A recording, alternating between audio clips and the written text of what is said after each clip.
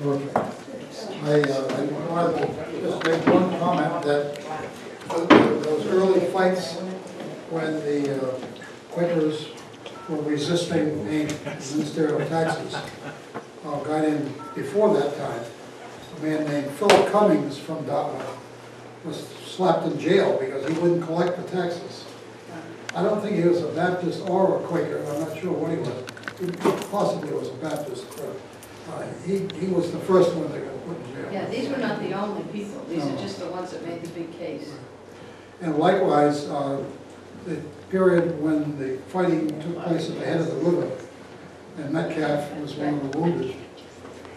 One of the so- revolutionary soldiers who helped carry his body uh, in was, was Joseph Weaver, who lived in the Weaver House that's now on the UMass campus, that we talked about here couple weeks ago. Any questions for Pam? Um, I know religions have evolved with their theologies and everything, and these people in colonial times seem to be very loyal to their type of Christian church. But in a capsule form, could you say what was the major uh, religious belief difference between the Methodists, the Baptists, the Congregationalists? The the Quakers are pretty well known, but why would those people have been so loyal to the belief system of one or the other of those? That's a whole other talk. I would think so. Three sentences. The Baptists believe that when you, well, I believe that people, when they get to be an adult, they decide what faith they're going to follow. But the Baptists believe that the symbol of water baptism was the most meaningful symbol. Where if you were one thing when you were a child and now you're another thing, or if you um, were brought up to believe because your parents said so, and you got all the way through college, and finally you said, but now I'm going to believe it for myself. Now, when you will say, and now I'm going to believe it for yourself, the Quakers call that a convinced Quaker. Is that right? Yeah. Yeah, now I'm going to believe it for myself. Baptized would call it a born-again Christian, because they got to the point where they made a, a, a decision that was so radical in their lives that it was like being a new person. And for that, they had water baptism in which you were immersed. Now, the Greek Orthodox Church still immerses babies, Damn, damn. but they don't, um, but, but the babies don't know, realize it. And So the the other- Baptists say you The gotta other thing, enough they, they have one distinguishing belief that you could give us for the Methodists, the Congregationalists, why they didn't agree with each other. Just one will do. There there are libraries, George, there are libraries full of those. Well, I'm asking for just one No, but the major Baptists believe in adult baptism, the Congregationalists believe in the covenant.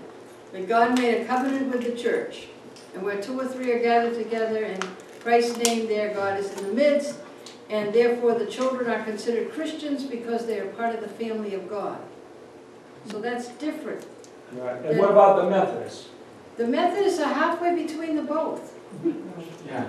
That's what makes the Methodists so interesting. They have a little of the Baptist fervor, and then they have a little of the uh, more organized structure of even the Catholics, because Baptists still have, um, Methodists still have bishops, like like Anglicans and Catholics. Pam, there's a question over here. Pam, uh, I'm not originally from Dartmouth, I mean from Massachusetts. What about the Catholics? Were the Catholics here at all?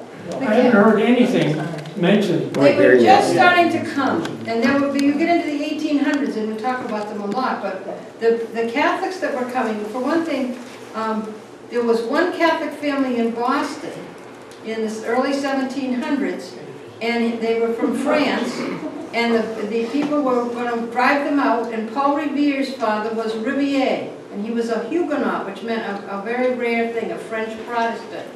And he said, let the French Catholics come in, they're nice people. So they accepted that family. Now down here, the people that, that came, um, the, the Delanoy, so like Franklin Delano Roosevelt, though they were French Huguenots. So they were Protestant too, and they, they met the people like the Jenny in Leiden, Holland, and went back to England with them and got on the Mayflower and came over here then. But the, um, the Cape Verdeans started to come when the whale ships went and refueled at Cape Verde and picked up a Cape Verdean sailor. And then if they went all the way around the world, for example, they'd get here before they got back to Cape Verde again, and they would get off the boat maybe. So that, that's some of the sailors that came were the first Catholics that came.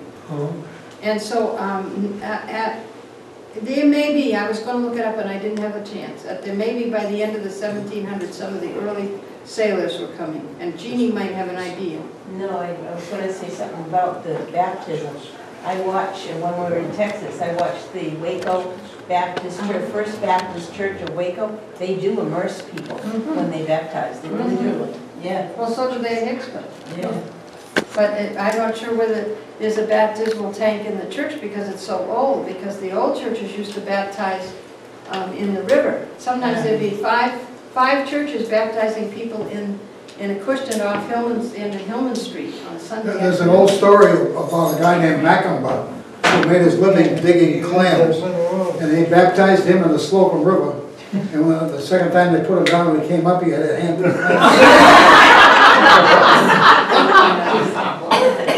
Right? I, tell I just have a couple of questions. What, what year was, uh, Smith's Neck? Smith Neck was about eighteen nineteen. Okay.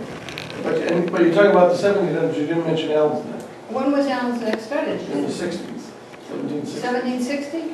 I looked today and I couldn't, I couldn't, didn't quite see that. The meeting house was built in the eighteen sixties then. The meeting house is. No, it- seventy, seventy-one or two. This meeting, the current meeting house was built in eighteen seventy-one or two. Yeah, so Allen's Neck was started But there was a, but there was a I'm- previous building. I'm sorry that I left that out. Yeah, Question over here? Uh, on a Christian cemetery, uh, when I was younger, they had a building that you mentioned.